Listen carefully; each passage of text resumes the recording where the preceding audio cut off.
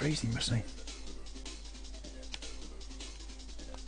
Of course, they didn't have wetsuits in those days.